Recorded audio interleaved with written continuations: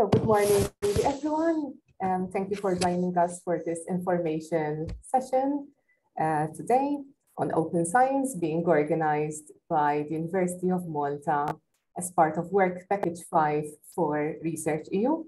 Uh, I am Dr. Fiona Sammut from the Department of Statistics and Operations Research at the University of Malta, and I will be chairing uh, this session. Without further ado, I'm going to give the floor to Mr. Juan Ramon Real Buhigas. Um, he's the project manager for Research EU at the University of Cadiz, uh, to give a brief welcome on behalf of Research EU. Thank you. Thank you very much, Fiona. And uh, well, good morning and uh, welcome to this meeting once again to, to everyone. I am, I am Juan Ramon. I work as a technical manager for Research EU at the University of, of Cadiz. And I would like to give you a very brief overview, a very brief introduction to the, to the Research project within the umbrella of the SEA-EU Alliance. I believe that most of you will be at this time familiarized with the European University of the Seas. We are an alliance composed of six coastal universities spread across the, the European coastline uh, the University of Split in Croatia, the University of Malta, the University of Cadiz, uh, the University of Brest, the universities of Gdansk and Kiel. And very soon uh, there will be joining us three other new partners from, uh, from Norway, Portugal, and, and Italy. So uh, the, the main idea, the core idea of the European University of, of the Seas is uh, to make uh, to make ourselves stronger by by uniting efforts and by by joining our our research resources and infrastructures. In this regard, uh, whereas we have uh, an Erasmus Plus project focused on education related activities, developing joint programs and, and other important initiatives. In the research aspect, we are developing the Research EU project, uh, which uh, focuses on certain thematic areas, such as institutional resilience under the motto, in our case, of anti-fragility, innovation and entrepreneurial mindset across our researchers, uh, citizen science, all the co-creation projects and how we can uh, increase engagement from the civil society in all research activities carried out at our universities, the development of common research agendas across the different partners of this consortium, and lastly, but not less importantly, uh, I would say that even uh, ranking at, at, the top of importance in this project, we've got open science, which is the, the main topic of, of this meeting. In open science, uh, the, the European University of, of the Seas has two main objectives. On the one hand, we are intending to provide uh, our respective research communities with technical means that may allow them to make their research more findable, accessible, interoperable, and reusable by other by other researchers across, across Europe and the world, actually. In uh, broadly speaking, we intend to make things easier to, to get our, uh, our science, our research open up. But on the other hand, we understand and, and we acknowledge that there is a huge challenge when it comes to spreading uh, open, open science practices across our research communities. Because how many of, of you, how many of us have already uh, been in a situation in which the term open science was not familiar for some of our research colleagues? Uh, we are still, and I believe that this is a, uh, a situation common for universities all across Europe, actually, in which there are still many researchers who neither know what benefits may bring open science practices, the adoption of open science practices, nor acknowledge the, the, the huge, uh, the huge importance open science has for science as a whole. The opportunity to make available data sets, not only the research, the research results being as an open access platform, but also providing other researchers with the data sets on which our research results are, are based. This is, uh, this is crucial to make our research more, more transparent, reliable, and uh, well, broadly speaking, better. So uh, I hope this has given you a very brief but comprehensive idea of our main objectives.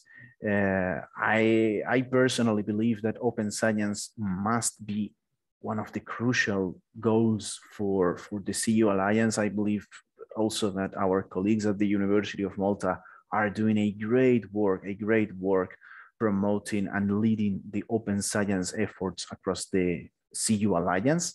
And I am looking forward to, to seeing how this meeting unfolds. So thank you very much. Let's go on.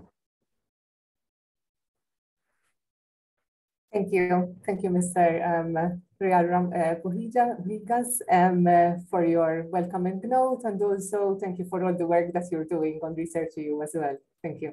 Thanks to you. Thanks to you, of course. Okay, so now it is my pleasure to yield the floor to Dr. Ritienne Gauci. Um, Dr. Gauci is an academic at the Department of Geography at the University of Malta. She will be speaking about grasping the breadth and depth of open science. Um, we will allocate some time to address questions or any comments at the end. Okay, so yes, so Dr. Gauci, the floor is yours. Thank you. Thank you very much, Fiona. Thank you, Juan Ramon, for that nice introduction. It's a really a pleasure to support um, SEA-EU, but also now research um, SEA-EU in various forums, um, not just as an outreach subcommittee member, but also now as an open science ambassador for research. I come as a very neutral participant to open science in the sense um, that I try to look um, at the different dimensions of the science, um, at the benefits, its nuances, its uh, limitations and also its barriers. So um, I think that a true work, a true ambassadorial work requires that we are as much as possible objective in understanding how to improve open science by also addressing the key challenges of open science. In just under an hour, it will be difficult to discuss everything about open science, but what I really hope is through this meeting to start a conversation across the SEA-EU um, esteemed partners about this large and rapidly uh, emerging dimension. Um, can I share my screen, Fiona? Yes, you can. Okay. So, so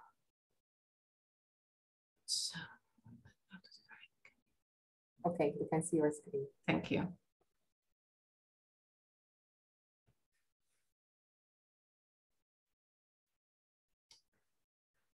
So um, I'll start with something really simple, but I, which I really think it's um, a powerful example of uh, what happened last week as, a, as an example of open data, um, or, or, or, even better, open science. So um, I wish to start to, with the simple example to, to make us aware a bit how open science is affecting our daily lives as well. And I'll start with um, a Google Doodle that appeared last week, last Friday. Um, for those of us who are Chrome users, um, they might have seen this um, Google Doodle um, appearing on the screen in every tab um, above the search engine bar. This feature has become, this Google Doodle has become a quite a regular feature in, you know, in the user interface of Google Chrome. It's almost considered normal to find these, um, these doodles nowadays. Um, they mark international anniversaries or an international event. They can spend a day, 24 hours, sometimes even a week if there is an important event that, you know, such as, for example, the Olympics. So it's a normal thing to see on Google Chrome. So well, last Friday, it was um, the turn of this time-lapse composition of images from a very powerful software, another open powerful software, which is Google Earth. And uh, what I have chosen here um, are two examples of these Google Doodles that have appeared. One is um, of coral bleaching at the Great Barrier Reef in Australia. Um, and the other one is um, a deforestation process happening in Germany as a result of infestation brought by drought and uh, increase in temperatures. So Google decided to use this time-lapse imagery on this day because obviously um, for um, many of us are aware that 20, 22nd of April is actually Earth Day, International Earth Day. And so Google decided to use um, its powerful um, software, Google Earth, but also its powerful search engine to um, address one of the most pressing topics in our time, which is climate change. Also in the wake of what recently has been published by the IPCC, which is the International Panel on Climate Change. So we see here a very simple example, but a very powerful example of, of, open, of open science. And it's very powerful because, first of all, it's been engineered by an open spatial software, which is Google Earth Timelapse Imagery. It was made publicly accessible by an open search engine, which is Google Chrome, it is supported by third parties providing data. Um, notice the courtesy to the Ocean Agency for the time-lapse imagery of the, of the coral bleaching. It's also available to extract and uh, use in other fora using other data, data sharing tools. Um, it's also available to use um, for other um, services, which in this case can be educational, can be advocacy. And most importantly, it's also an understandable form of science communication. So all that, um, just by a simple um, example, shows how open science can really um, be something powerful, simple, understandable, reachable to everyone who, um, in this case, is a Chrome user, is an internet user. So this is um, just to bring a bit of the understanding that open science is not just relegated to an institutional um, dimension or relegated to a government dimension. It's, it's, it's, something that we are surrounded every day with and we are exposed to, even though it might not carry the label of the science, but it's actually there um, impacting on us and affecting our daily lives and our perspectives. And therefore, it's important to, to keep in mind uh, that open science is everywhere, literally around us. The agenda will not be heavy because the time um, at our disposal is not very much. So I will just go through some basic overviews, um, some interesting hi um, hindsights in terms of understanding. I'll try not to avoid presenting data which is already available online. The, the, online, uh, there is a lot of information about open science and you really don't need this presentation for me to replicate what's there. But what I'll do is I'll try to very much bring in what is the status and the key um, issues at the moment being debated um, internationally about open science, especially from the European perspective. What I would also would like is to also use my field of discipline, geography, as an example to show what are the key debates that um, geographers and uh, earth scientists are at the moment debating when it comes to, to open science. Hopefully, in the, to start also a conversation in understanding and sensitizing ourselves of what happen, what's happening in other disciplines as well. So I'll start with, with definitions. And again, I will not um, be replicating that definition, which you can easily find online.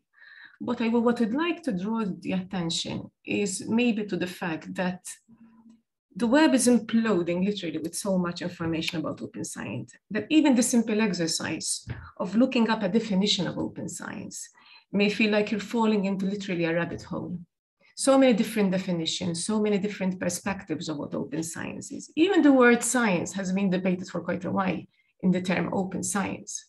Um, whether it should be anything else like open scholarship or open research in order to try and be inclusive of, of all the fields and also the traditional fields that don't um, don't really blend and represent themselves as science, but rather as humanities or social, or social fields. Um, we continue to use open science as a term eventually, even because you know of stakeholders surveys that were done at European level um, and done by the European Commission that really um, understood from these stakeholder surveys that the term open science is really something that most most people um, are quite familiar with, and therefore it has not um, been made redundant. So when you talk about science, really, we're talking in the wider spread of the word and includes all, all fields of the of all fields of this discipline in, in that respect. If you see these definitions, you start to also see uh, different things coming out of them. The fact that some definitions focus on public funded research, but is open science just about public funded research? One is actually not sure whether open is totally open or if there are some restrictions and if there are, how they are applied in practice. Um, Nielsen went, um, went, stretched it to the sense of also saying sharing everything um, as it happens. Um, coming from the field, the academic field, um, we rarely share data as it happens, but we go through a screening process, uh, a calibration process, uh, a reviewing process.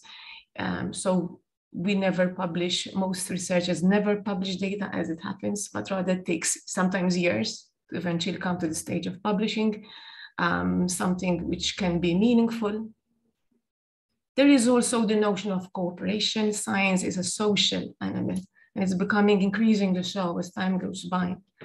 Uh, we see it also, for example, um, how Nobel Prizes are getting awarded as time goes by. We see more and more joint um, disciplines, um, joint scientists getting awarded by the Nobel Prize um, rather than a single individual scientist. And therefore, yes, we um, are seeing so many different blends and, uh, and shades of how um, one looks at open science, which is really also normal. And this is normal because um, open science is also, the value of open science relies, relies very much on the interpretation attached to it in, in terms of where the focus and where the value lies in terms of either its process or its outcomes or its underpinning philosophy. So depending where one attributes that value and that focus, then the definition will really be focused on that.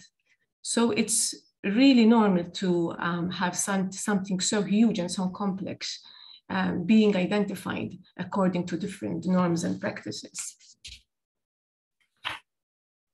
There are also schools of thought that are that have, been, have emerged in the last decade. Um, an interesting study by Fecher and Friesike um, in 2013 really explained that the push to implement the, the open science agenda is, is very much um, linked to, to various schools of thoughts, primarily five school of thoughts. The first one is believing that there is an unequal distribution of access to knowledge and that therefore it's important to make scholarly knowledge, including publications and data, available and free to all, so science as a form of democratic tool. There is also the pragmatic school, which follows the principle that creating knowledge should be more efficient, and therefore it should be made of more efficient through collaboration, it should be made more efficient through critique, um, and it should be made more efficient through transparency, transparent mechanisms. So the pragmatic element of how we can network better also to make uh, science uh, more meaningful. There is also the school of thought of the infrastructure, which basically um, is motivated by the fact that um, efficient research requires available platforms in the, in the age that we're living of digital revolution. It requires tools, it requires services um, to keep at pace with the opportunities that the digital revolution is bringing. And therefore, there is this infrastructure element and the school of thought driving um, open science. There is also the public school of thought as well. The public school of thought is recognizing um, that the true societal impact of science requires engagement with society. So science can make impact on society when it engages with society and, and also communicates understandable um, scientific results to society. So open science is also driving that, um, and it links therefore heavily with citizen science as well, and how science can and how citizens can be empowered by the, the understandable knowledge that is transmitted from, from open science. And then there is also the measurement school of thought. The measurement school of thought is acknowledging that traditional metrics um, to measure scientific achievements, to measure scientific impact, um, has proven problematic over the years. um, especially very focused on publications, focused on journal level, journal impacts. And therefore, the school of thought is, is actually driving open science to find alternative metrics where we can measure impact, where we can measure um, significance, and we can measure meaningful science um, in terms of impact of scholarship. So um, there are various, various schools of thoughts, one not exclusive from the other. Um, you can have more than one school of thought complementing another one in that respect. So here, it's not a divisive school of thought really, but they all come together and um, build on what is required for open science to be really a tool for all. So as you can imagine, um, the, um, the structure really then defines the taxonomy of open science. This is uh, really much the state at which we are at the moment in terms of understanding how open science is growing and how each element really and truly would require dedicated training sessions as for those who fully understand what's, what's happening um, in this structure. It's a, a structure which um, is very positive to see in terms of growing. Growing means that it's somehow being a success. It um, growing means that it is valid. Growing means that um, it's an important element. That uh, it's an important um, journey that uh, one embarks when when one believes in open science. So, but when you think about it, behind this structure, behind um, the drive for open access, behind the drive for open data, which really are not, which are really not, not new assumptions. The, the, tradition of openness itself has been at the roots of, of science. But the current development of information and communication technologies um, have transformed the scientific practices. So behind this, behind the structure, there isn't just the researcher working and driving and being driven by the research process. There are librarians building and updating the repository infrastructure. There are ICT specialists building the domains.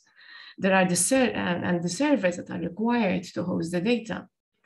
There are the policymakers and the government bodies that are analyzing the funding mechanisms um, that is required to tap public research, which is important for, for the country there are private partnerships as well. And there are also lawyers drafting new laws and new ethic principles regarding sensitive and personal data dissemination.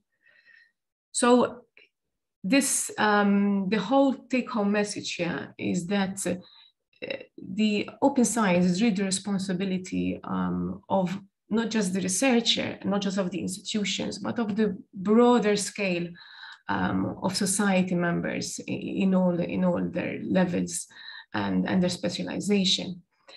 Uh, just a, a, side note, Foster is a, a very interesting portal, e-learning portal uh, that brings together the, very, some very good training resources addressed to those who need to know more about open science or need to develop strategies and skills um, to, um, to eventually to implement open science practices in their, their daily workflows.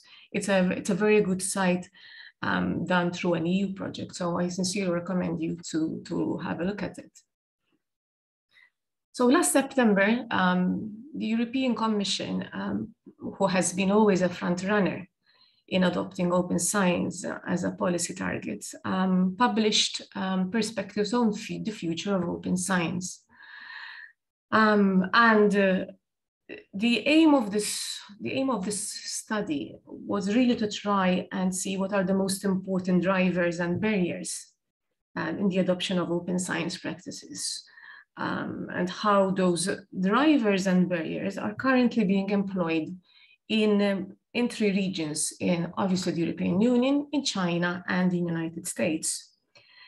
So the understanding is that by an analyzing the future of open science within these three, um, these three um, countries, um, one can also see how open science policies might eventually shift um, in terms of you know the power relations between these countries and how research is done and open science is done between these three three um, countries that have, have three regions that have been invested in R&I. So I will just tackle two, um, two important aspects of this report because I don't necessarily have time. But I will tackle um, more, um, more specifically on open access and on open data and what are the key findings um, of the European Commission when it comes. And some of them are indeed what Juan Ramon has been saying in terms of researchers um, not fully aware of, of, open science and the benefits of open science. And so when it comes to therefore open data, open data um, is uh, probably one of, one of the most important and uh, not difficult to address in terms of understanding um, how can eventually data become available online, free of cost, accessible, how can it be used, how can it be used and distributed. And, uh, and the understanding is that um, data uh, requires a significant amount of investment in infrastructure to be able to come to that stage of being shareable data. In fact, um, in 2016, um, I'm sure most of you are familiar with the FAIR data principles, which um, were principles that were designed for scientific data management and, and stewardship. And the principles emphasize the aspect um, very much of machine actionability, meaning the capacity of comput computational systems to find, to access, to interoperate and reuse data um, as almost without minimal human interventions um, because humans are increasingly, increasingly relying on computational support to deal with data as a result of the volume of data that's being that it's the interface the digital interface is capable of of uh, collecting the complexity and also the speed. And so um, the fair data principles try tries to guide um, this in terms of how um, to make data findable access, accessible interoperable and and also reusable in terms of key findings um, by the European Commission about um, open data, um, the European Commission found that the, the, key finding is that there is still a lack of awareness amongst many researchers about the benefits of open data.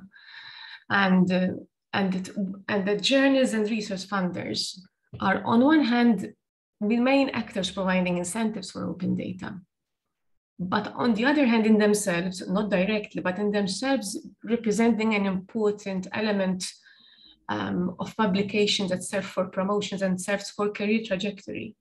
In themselves, journals and research funders are therefore also key building blocks that can eventually discourage researchers to share data because they need to mine that data for more papers, for more publications.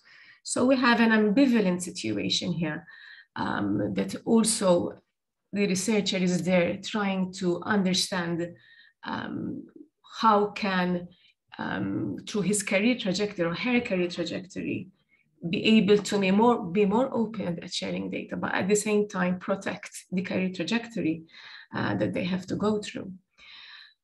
Um, the European Commission found that, however, that yes, open data is becoming very beneficial for society and especially for researchers themselves. Um, and in fact, yes, for example, as a geographer, um, having open data and having open software systems that can help me in my research is definitely undeniable. The only universal barrier that was found is that it simply takes time. Um, and you have to see this dimension, and this is something which I explain in my paper when we speak about the value of open data, is that you have institutions which are exclusively working on research, they don't have administrative duties, they don't have um, teaching duties. Then they have research institutions that have a, a, component which is heavy on teaching, and therefore you have these different um, modes of work, of practices by the researchers um, who might actually not have enough um, time to eventually uh, support and create the right, the right, um, the right practices to share, to make the data shareable.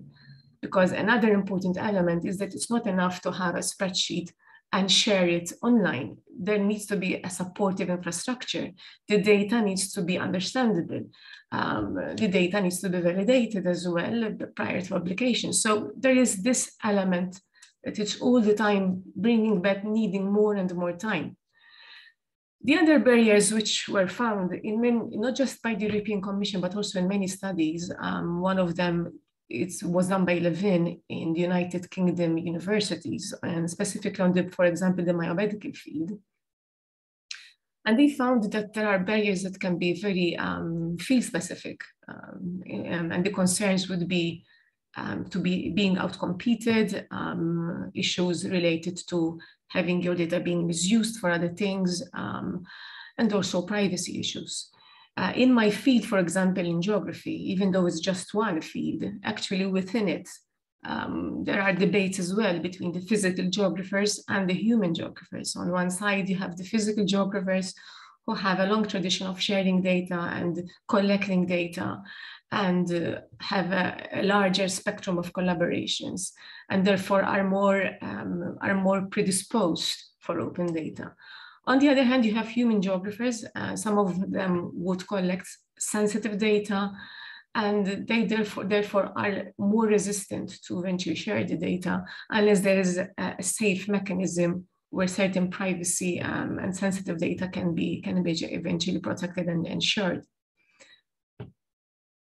The other um, dimension is, is open access. And in open access, um, which refers again to um, the ability to, um, the availability to um, access free of cost uh, scientific content in the forms of publication, journals.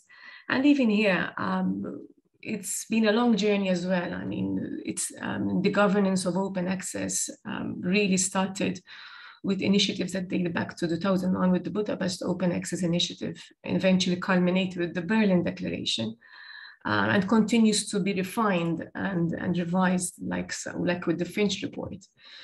So what we see here is again, another dimension, um, very connected to open data, but also separate in the sense that open access then is um, related also the avenues where one is going to publish data, how he's going to publish the, um, the data in the forms of journals, in the form of reports, um, who should have access to, to, your, to your data as well.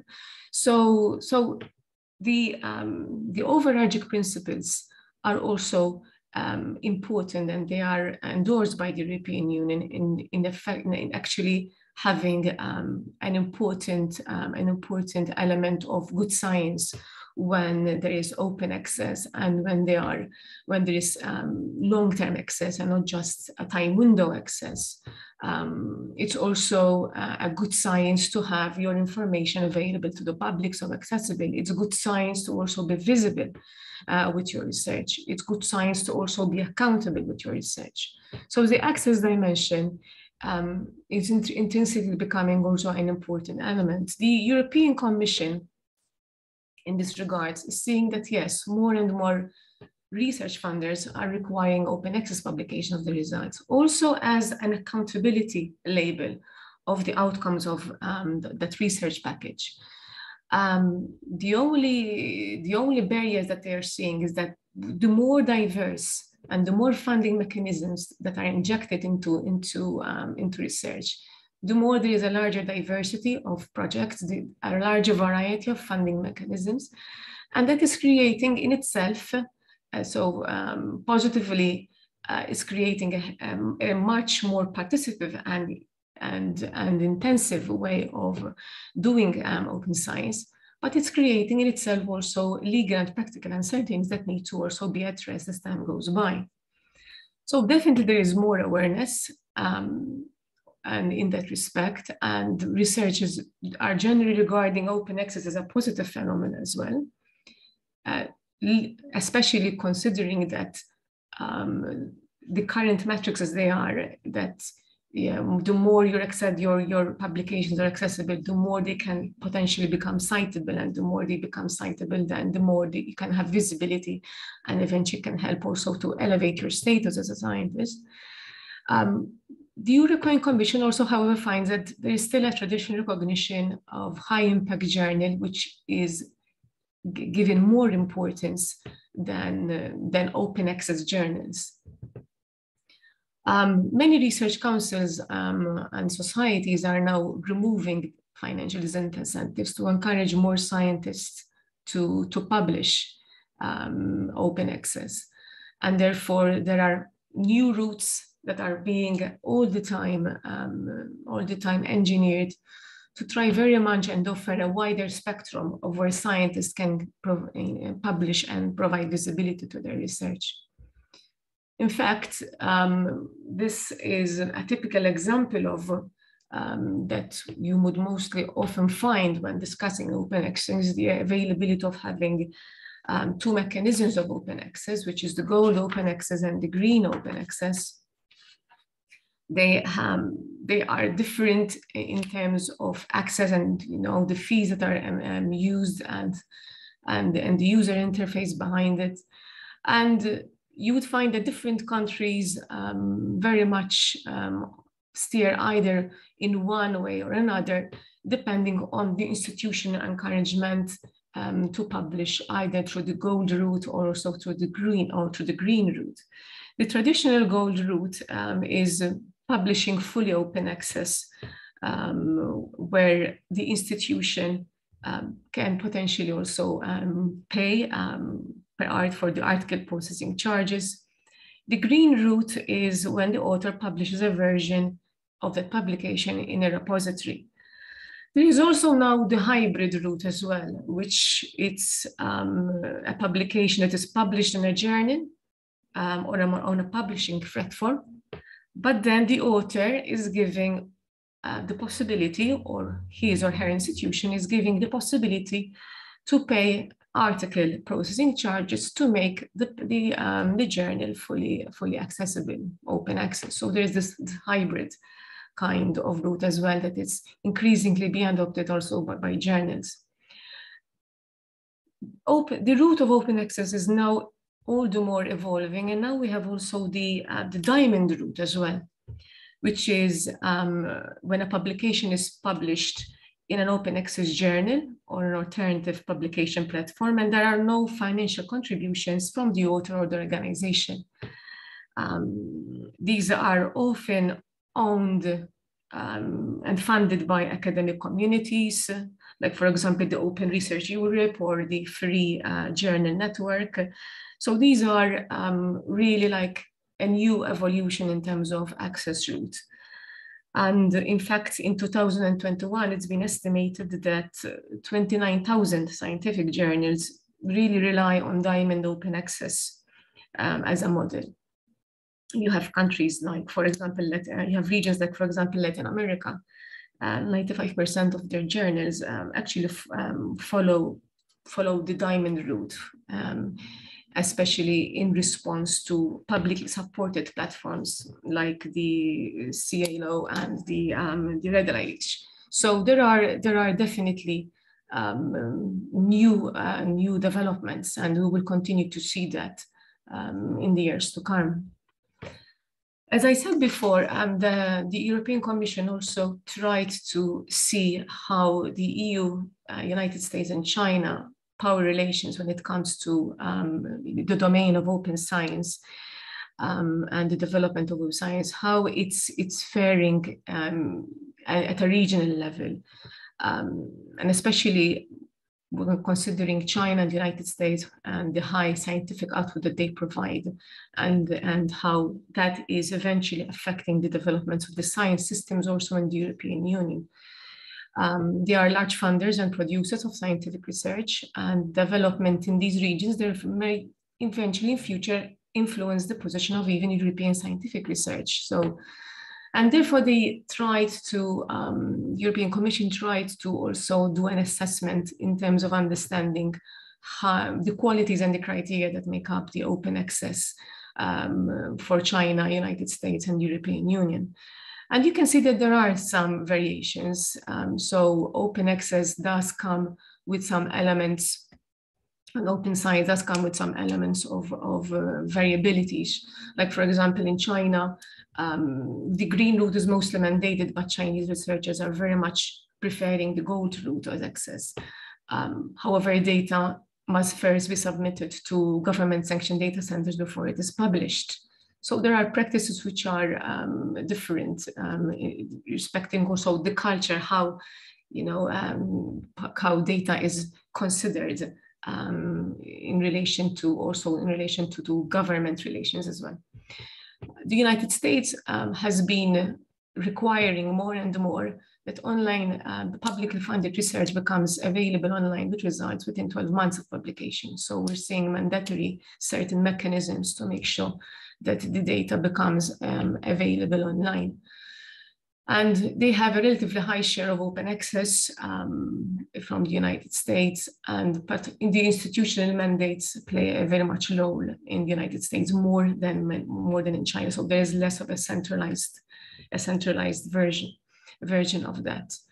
So this is all just an example to help you understand um, how open science at, um, at an international level um, also is very much influenced by, by the um, power relations that exist within, within, each, within each region or within each country.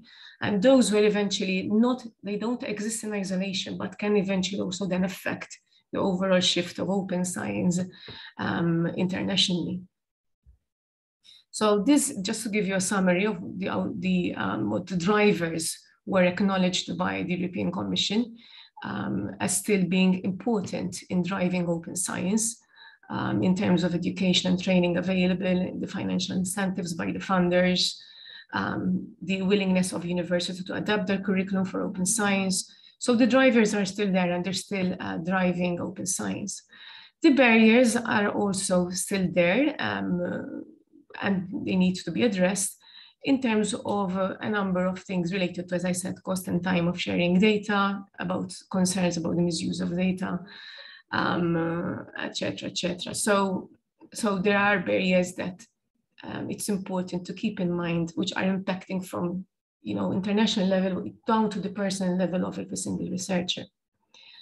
The business is also positioning itself on this huge dimension of open science because of the increasing role of businesses in, in providing funding for um, academia uh, and private partnerships. But again, um, the uh, position that recently was um, stated by Business Europe, who issued a position statement in 2020 about open science, um, really addresses the fact that one of the key messages is there is no easy criteria for a decision against or for open research data um, and that we should, the regulator should not enforce a one size fits all. Um, but rather they encourage to build on what the European Commission said in 2018, that to be as open as possible and as closed as necessary um, in order to um, avoid um, avoid any pitfalls that might eventually happen um, in the um, in the in the in the drive for open science. Two emerging they are emerging also in, in conjunction with citizen science. So open science movement and citizen science are also becoming mutually dynamic between them. And uh, the establishment of citizen science is now becoming an essential element in, in global perspective as well. And, and, it's requiring an equal weight also in, in open science.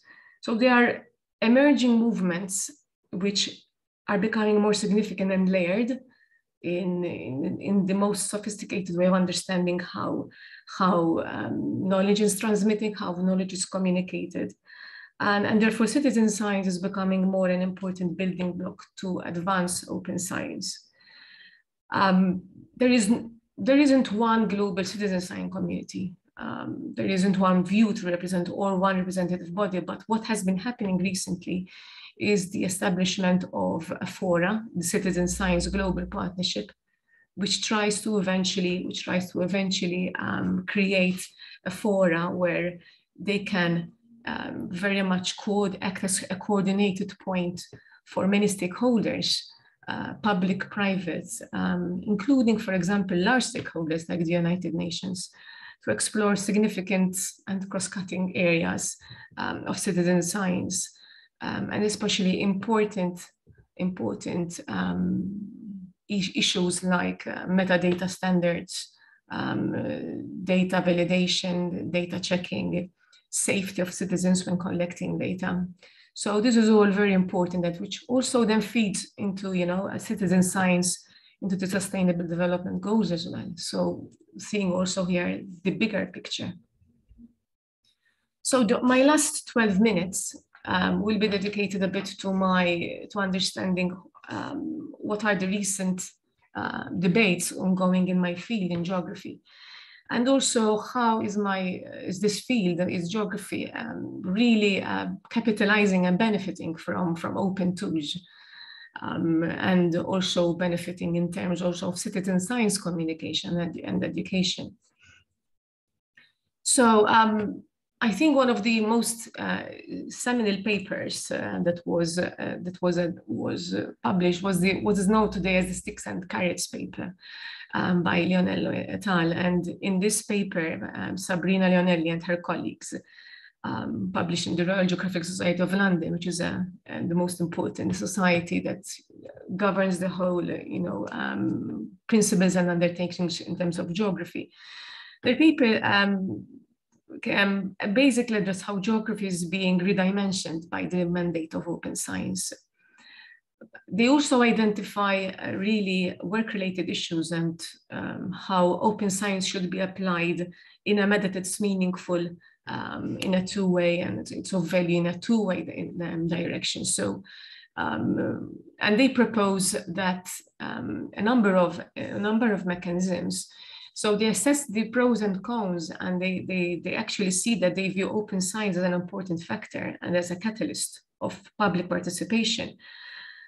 However, they also see um, um, that there is a number of obstacles to open science, which can currently hinder the full realization is that being increasingly transparent might have unintended consequences, like publishing something prematurely, um, or else, um, or else um, they basically um, address the issue that researchers fear of being scooped that there may be a case of uh, developing incentives and safety mechanisms for researchers to engage in open science in all its stages.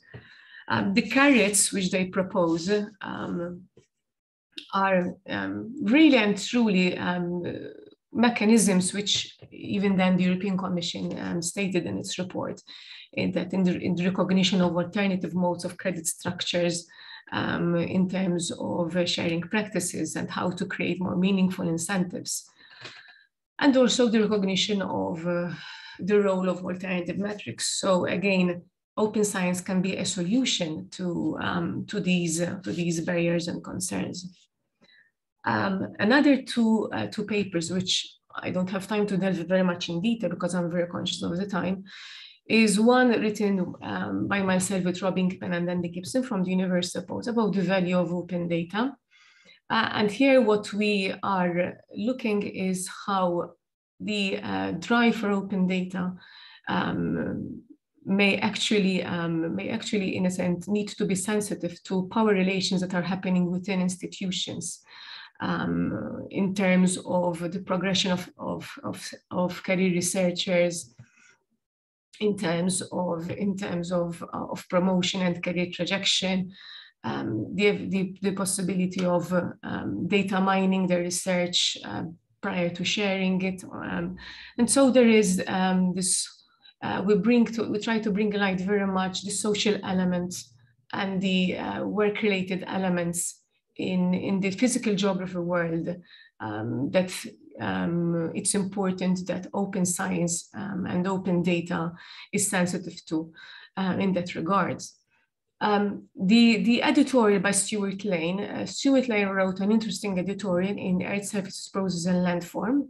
Um, and as an editor, an editor, um, Stuart makes quite of a, an interesting statement when he reflects um, and the, opponent explains uh, the policy with respect to data sharing. And Stuart Lane um, really addresses um, clearly a number of important reasons why, yes, he agrees that data should be shared, but they should not be enforced by, by journals. And he basically rules to the fact that um, he says that data sharing cannot become an alternative to field data. So he's making reference to the fact that the value of field data, which takes time collect, which takes times to process, um, it's still important that it produces scientific understanding, um, which is equally important as much as the data that it's mined online and eventually processed into something of a, as a new product. So what he's basically saying here is that in the drive to access available data online, let's not uh, disregard and uh, um, cause um, fieldwork and field data to become you know, a lesser participant in the, in the geomorphology field. But let's make sure that the um, fieldwork data remains an important component of the um, data collection of a, of a geomorphologist. And that if the scientist is um, keen and to share that data, um, ESPL will encourage that and provide infrastructure for that, but it will not be a condition for manuscript acceptance. So he's basically saying that um, data collection in one way should not eventually undermine the traditional way, which still has value today in, in, terms, of, in terms of field data. Um, in, term, in geography, what has really been beneficial um, in, is the um, use of geospatial data. I mean, in, the sharing of geospatial data has allowed more and more, especially governments, to share their data, nationalizing the notion of open government now. Um, this is the geospatial platform of United States um, that um, basically um, shares uh, a very important, a very important um, accountability and transparency in data sharing uh, from government to citizen communication. And, and therefore we see more of these um, geospatial data is now uh, becoming more important even at, in terms of national agency. In terms of software in geography, we're also seeing huge developments um, in terms of these GIS and QGIS um, are, are two leading geographical information systems. One is um, the ArcGIS traditionally was the traditional one um, that is um, available through uh, paying of a license. It uh, has been around for quite a long time and it's the most robust and um, in spatial data mapping field it's fully featured program, but it's not available as an open software. So in response to that, QGIS has been um, designed, um, which is a leaner open source of software version of ArcGIS. It's simpler than ArcGIS to use. Uh, it's good for small projects. And so you find more and more um, individuals, private individuals, students, even academics preferring to use QGIS uh, because it's easier than to share uh, the formats and the interface with a wider audience and a wider and a wider user interface. So, so you see um, this evolution coming in where you have two softwares um, which can be used, and sometimes it's, it's actually difficult for me um, as, a, as an academic to understand which scientist is using. Sometimes you'd find scientists that prefer ArcGIS because their institution pays for ArcGIS. Then you find other scientists where their institution doesn't pay for ArcGIS, so they use QGIS. And so you need to, um, to align those different softwares in order to continue the collaboration.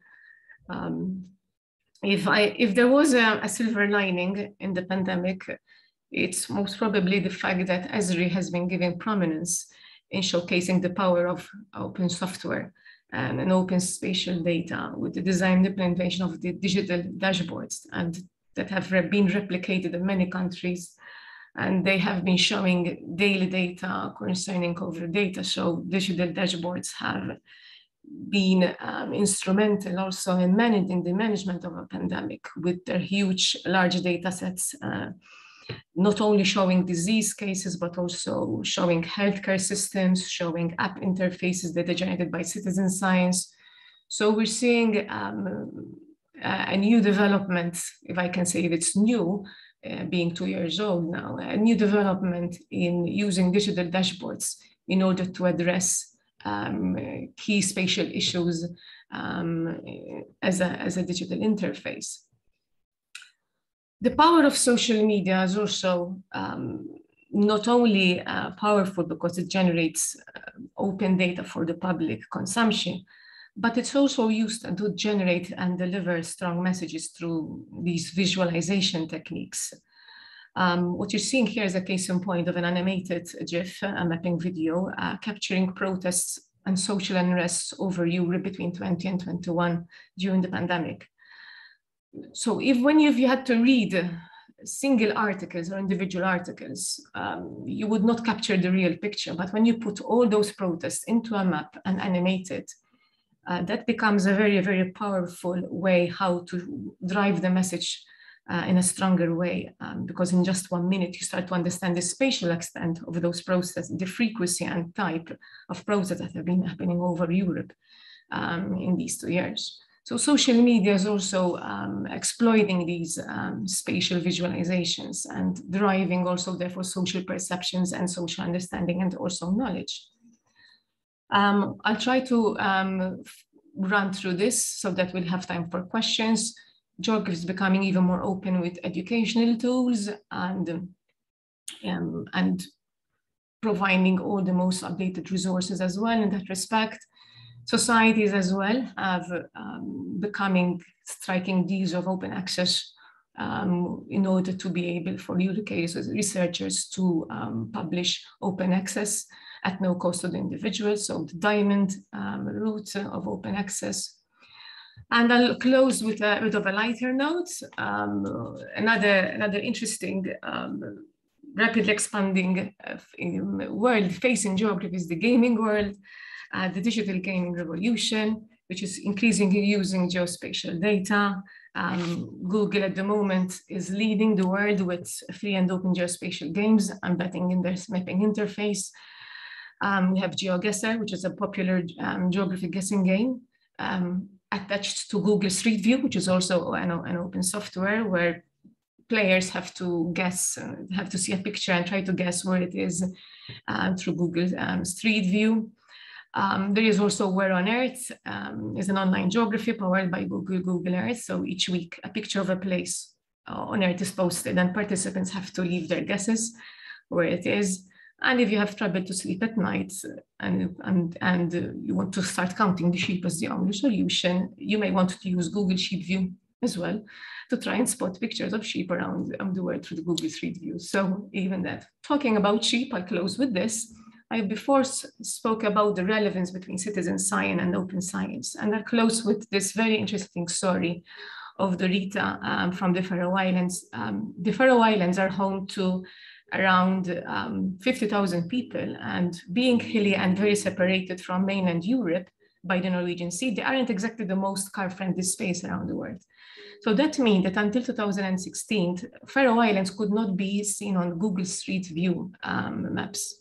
So uh, Google Street View couldn't, uh, um, because of the lack of accessibility by car use, um, couldn't uh, be available on this on this um, open software. Um, so Durita came up with a, with a strategic plan. She said, okay, we don't have enough cars and, and routes to be able to support Google Street View, but um, Faroe Island is home to more than 70,000 sheep. So what did she do? She um, she um, asked Google um, Street View to sponsor her, and um, she strapped cameras to the backs of sheep, literally, to capture photos and islands um, all, all around Faroe Islands. And when Google um, eventually realized the success of this simple venture, um, they eventually funded her even more. And today, thanks to this simple but innovative story based on sheep, but also based on citizen knowledge and citizen understanding of how can we work around uh, digital um, limitations, um, Faroe Islands today is is featured on the Google Street View with, um, I might have to say, beautiful landscapes in that respect. So here we see that sometimes where you know, sometimes the citizens might actually provide more resilient solutions in their own um, dimension that um, complement very much so open science. Some references um, for those of you who are interested to, to learn more about what I have been trying to tap. And I look forward to some questions and I thank you for your, um, for your listening and for your patience with me. Thank you. Thank you, Dr. Gauci, for the excellent presentation, very informative and very insightful. And uh, if there is anyone who'd like to raise a question, please um, feel free to raise your hands.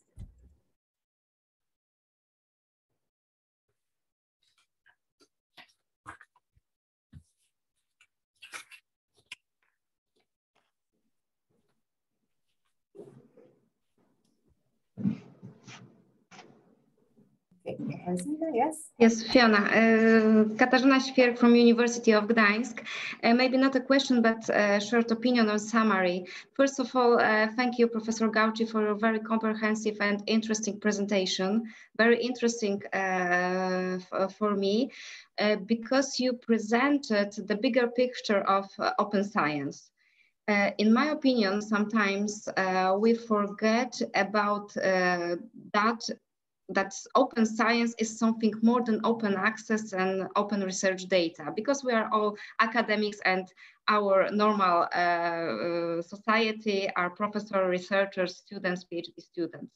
Uh, so that is very important that we as open science ambassador uh, will start to talking about the open science and citizen science. And your last example, it was uh, very, very interesting and showing that how it's important the engagement of, of, citizen, uh, of uh, citizens in, in science.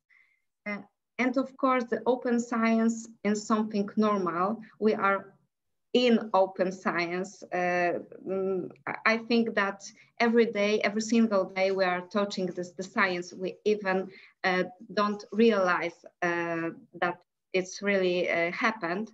So um, my opinion that my opinion is that we as um, a society in that project should think more open about the science. That yes, uh, yes I, I, really totally agree with you. Um, in Malta, here in Malta, we have some good examples of, of citizen science, like for example, Spot the Jellyfish, um, coordinated by the Department of Geosciences. And on small countries, it's very, it's very easy and a bit more straightforward to, to create the right infrastructure for open, for open and citizen science. When it comes into larger countries where the input of data would be more massive and more varied, and therefore it requires also uh, the know-how of an infrastructure and the support of an infrastructure that can eventually validate um, the data. Because we are moving more and more towards the citizen um, becoming very much involved, the more we release data um, and being open and um, accessible, the more the citizens are going to pick it up, make it their own, and use it.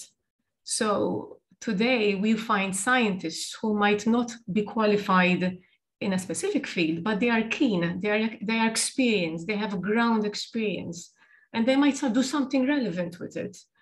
So even um, the perception that citizen science is a less inferior form of science, that has to really change as well. Our, our, our um, concept that just because a person might not be qualified in, the, in that particular field, the data that he receives and what he makes use of it might not be um, relevant. We have to move away from that as well and try to understand and how we can validate and, and encourage them more uh, in that respect. Thank you very much for your, for your, for your question. I look forward to more and more conversations with fellow ambassadors from all the SEA-EU partners and the new three ones that, are, that, that will eventually join us. Um, because it's really a dimension which is fascinating, it's important, and it requires a lot of minds to understand it collectively. So we want to create a strong body of SEA-EU experts in open science, we really need to uh, come together more and have more of these conversations and understanding the realities of our universities. um, in, in promoting open science. Maria Laura?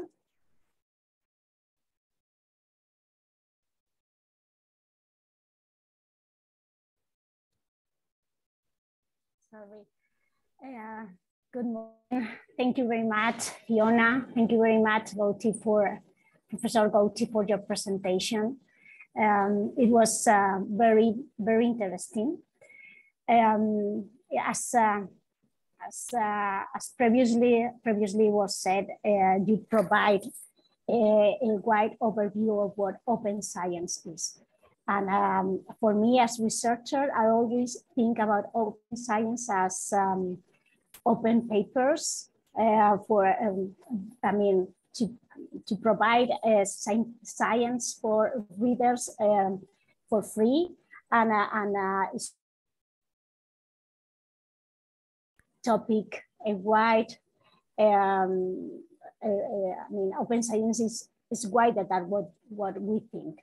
And in, um, in, in this sense, Open Science Ambassador, they have a very, very important role in this, in this project. We all know, but, uh, but uh, I would like to remark how important is uh, your activity in the Research D project and in the Alliance.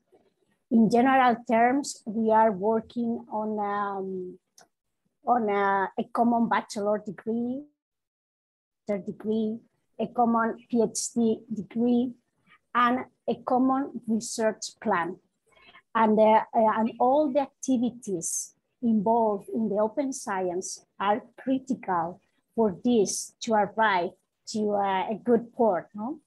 Uh, yeah. to achieve the objectives that, uh, that uh, we, we need to achieve. Um, it's, it's, I mean, I think uh, open science is, uh, and the activity involved in open science are really supporting uh, many of the objectives we want to achieve. Uh, if we, I mean, uh, it's crucial to provide our universities an open science, transparent science, and collaborative science. And when I say collaborative, um, uh, it's important what you said about uh, how open science is, uh, is helping in citizen science and it's also being and starting to be very, very important in social media and how it impacts in society.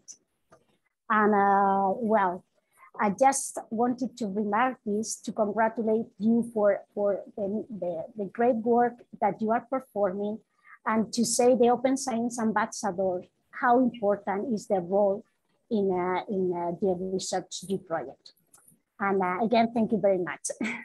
Thank you, Maria. That, that was really insightful. And it's really good news, uh, the kind of degrees that you are trying to propose. It's really something that probably even the University of Malta will eventually look into as a, as a potential form of uh, you know, educational program as well. Um, and yes, I mean, even in terms of curriculum, I think we should really be starting thinking about, um, you know, open science, even in teaching it to our students as well. Because eventually our students will become our future researchers. They will become our future policymakers. Um, and therefore, I, I, really believe that, I mean, if you had to ask our students, I, I barely think for them open science would be finding something online available and that's it. But tomorrow, these students will be, you know, the most key positions of the country in terms of becoming lawyers, architects, um, policymakers, ministers. So we have to start from now with our students as well in communicating um, what is open science. And especially communicating it's not a panacea. It's a it's an evolving and evolving so to speak animal that keeps on getting stronger and stronger. Uh, and we have to find more and more the skills how to tame it for the benefit of everyone, if that's a good analogy to put it to, to, um, to each one of us.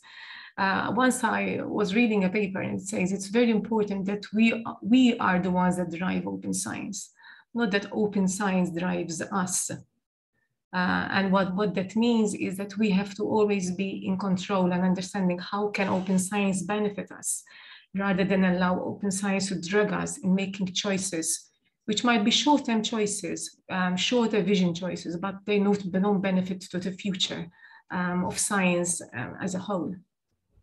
So thank you, Maria Laura. That was that was really interesting to get your perspective. Thank you.